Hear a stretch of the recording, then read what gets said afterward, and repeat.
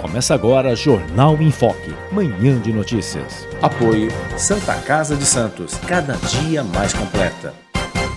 Eu gostaria inicialmente que você nos desse um panorama da situação da dengue em São Vicente. Temos, de fato, a pior eh, momento, a pior epidemia de dengue da história de São Vicente, conforme a imprensa tem anunciado. Obrigado pela presença, viu, Fábio? Obrigado, é um prazer estar aqui. Estou gostando bastante do programa. Vamos lá.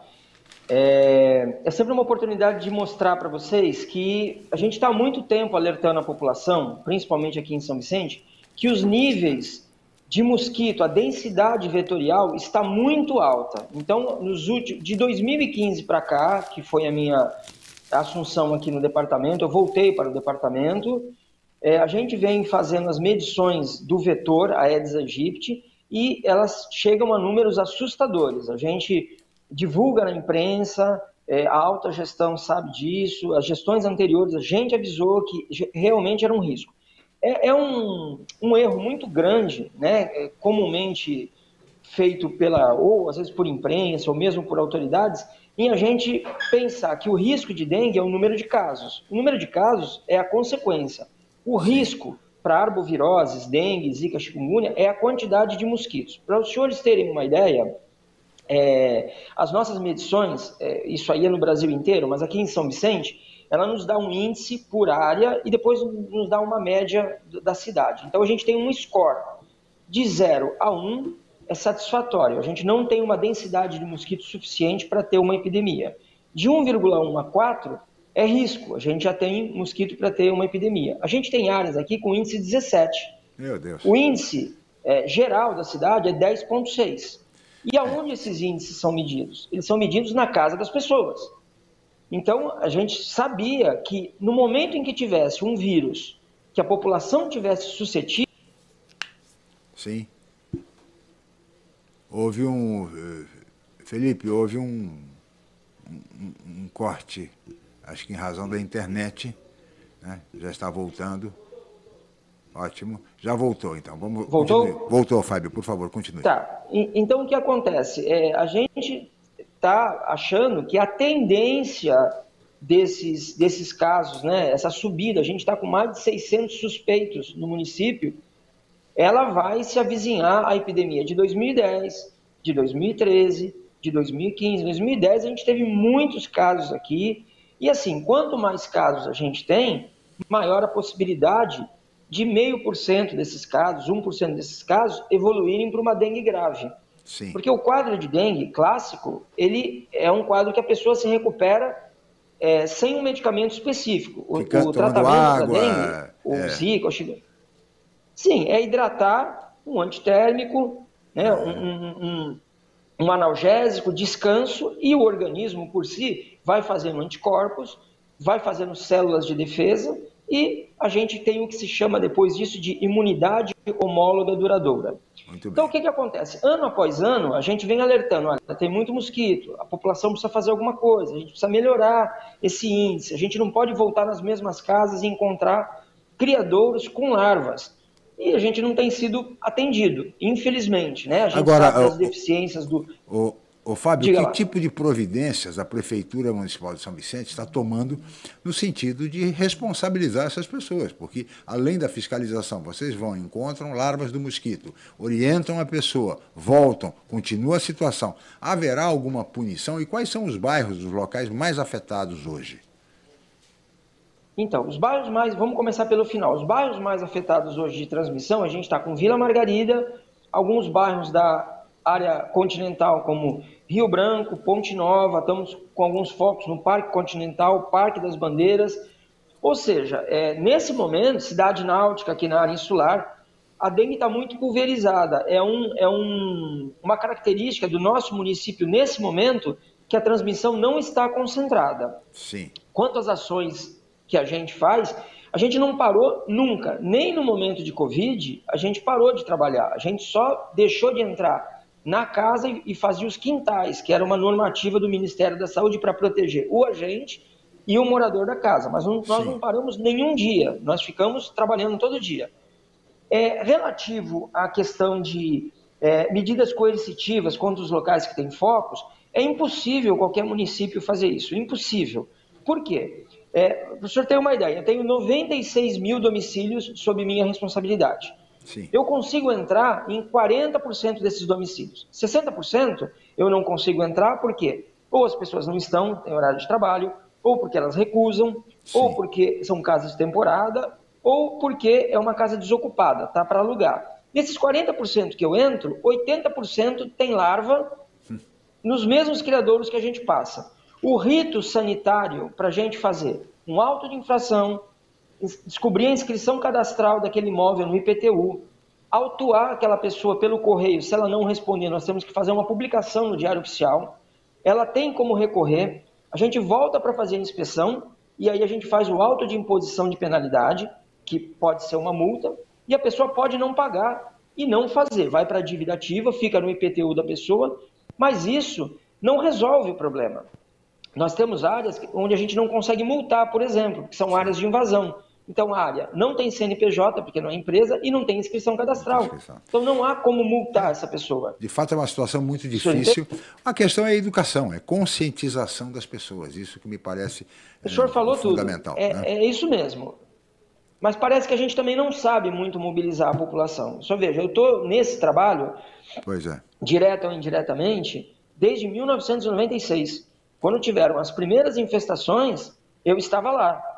Né? E a gente só vê aumentar o número de Aedes aegypti. A gente tinha em 85 quatro municípios infestados pelo Aedes. Hoje a gente já tem mais de 500 municípios infestados. O Aedes aegypti, ele tomou todo o estado de São Paulo e está tomando o Brasil. E é interessante... Esse viu? mosquito... Uhum. E é interessante, Fábio, que a, a, situação de dengue, que sempre preocupou o Brasil todo, né? De repente, em função do Covid-19, ficou meio de lado e agora revolta com Sim. muita força. Eu imagino a pessoa com dengue tendo, contraindo ainda o Covid-19, o quadro vai ser grave é, para, para um paciente desse. Por isso é importante que as pessoas se conscientizem e evitem acúmulo de água nas suas residências, em pneus, em vasos de plantas, enfim, tomando todos aqueles cuidados que todos nós já sabemos e que as, as autoridades sempre orientam. Eu gostaria agora, Fábio, de chamar o Fernando de Maria porque ele está lá na redação do Boc News para que formule perguntas, inclusive do, dos nossos internautas. Por favor, Fernando.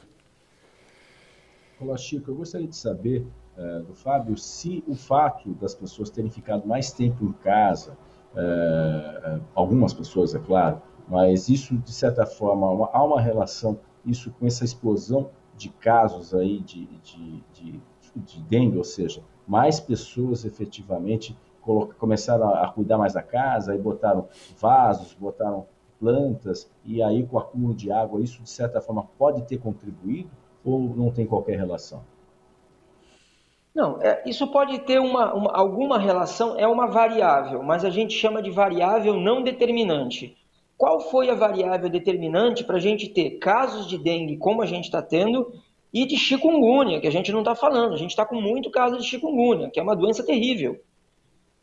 Então, o, o que, que acontece? É, ano após ano, as pessoas vão se infectando pelo vírus e elas vão ficando não suscetíveis, elas vão ficando imunes.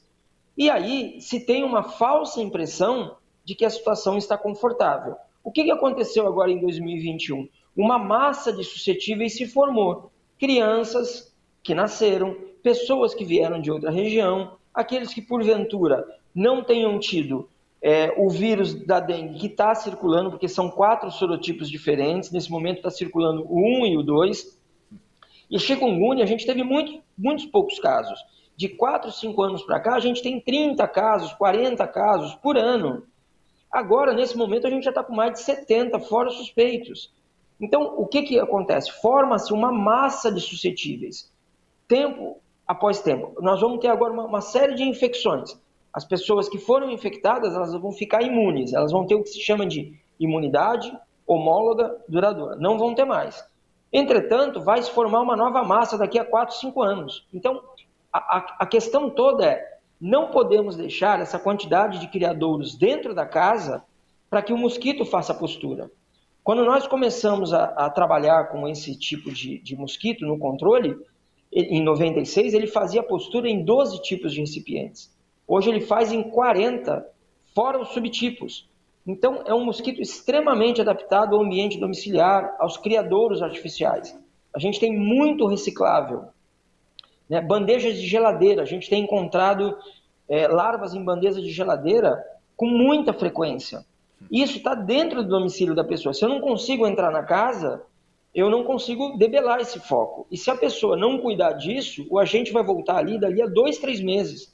Dois, três meses já se passaram cinco, seis ciclos do mosquito. Ela, ela já fez várias posturas. Então é uma situação realmente complexa.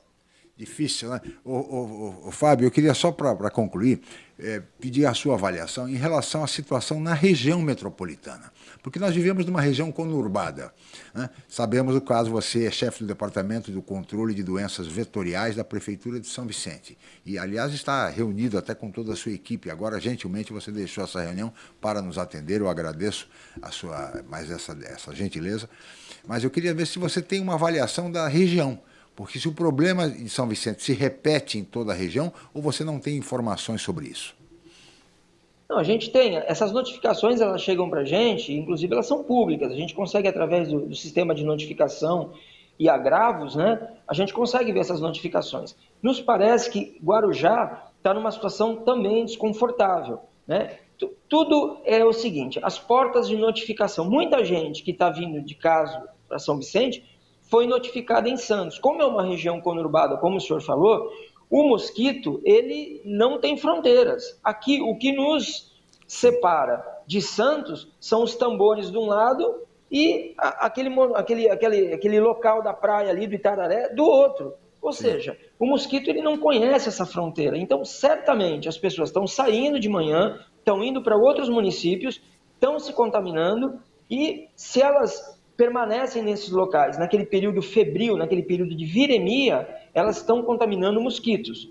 Então, nesse momento, a fotografia é São Vicente, que está fazendo bastante notificação, os médicos estão estimulados a pedir os exames, estão porque se o médico não desconfiar que é dengue ou é chikungunya, ele não pedir o exame, ele não notificar, não entra para notificação. E aí Sim. também nós não tomamos providência. Claro. Né? Então, eu acredito que essa situação ela vai piorar um pouco na Baixada, essa é a tendência, até os meses começar a esfriar um pouco. Aí a densidade de, de mosquitos diminui, a atividade do mosquito diminui um pouco, uhum. né? a cópula e a, e a busca por sangue diminui um pouco, a eclosão dos ovos diminui um pouco, as chuvas baixam um pouco e os criadouros que estão abandonados não enchem de água e esses ovos entram num período chamado período de quiescência, eles podem ficar de seis meses a um ano e meio aguardando água para eclodir e, e, se transformar em mosquitos que provavelmente vão encontrar alguém contaminado e vão reiniciar a transmissão. Uhum. Então, o, o, a grande questão é como é que a gente mobiliza a sociedade. Sim, essa Porque é os mosquitos eles não são das prefeituras. É, é, eles não são das prefeituras. Eles, é, o mosquito é da natureza. Nós é, permitimos que ele colocasse claro. os ovos dentro de criadores artificiais e agora a gente não sabe como controlá-lo. É isso mesmo. Por isso, importantíssima a educação e a conscientização da população. Ah, eu agradeço muito a presença do Fábio Lopes, chefe do Departamento de Controle de Doenças Vetoriais da Prefeitura de São Vicente. Seus esclarecimentos foram muito importantes. Muito obrigado, Fábio, pela sua presença, pela sua participação no Manhã de Notícias e pela gentileza de deixar a reunião que você estava eh, presidindo para nos atender. Muito obrigado, viu, Fábio? Muito obrigado. Gostei muito do programa. Me chamem outras vezes, tá? Muito Bom bem, dia para todos. Bom dia, obrigado, Fábio. Você conferiu Jornal em Foque. Manhã de notícias. Apoio Santa Casa de Santos, cada dia mais completa.